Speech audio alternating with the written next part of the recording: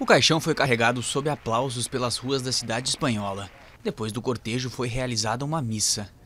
Entre os presentes estavam Helena de Bourbon, irmã do rei Felipe VI e outras personalidades.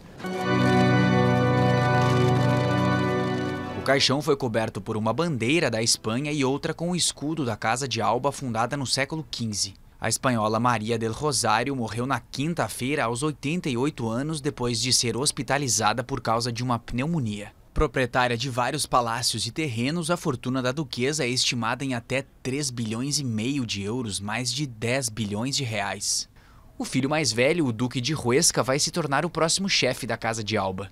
Já os títulos de nobreza de Maria del Rosário deverão ser distribuídos entre seus herdeiros. A duquesa era a aristocrata com o maior número de títulos de nobreza no mundo, eram cinco de duquesa, um de condessa duquesa, 18 de marquesa, outros 18 de condessa e mais um de viscondessa.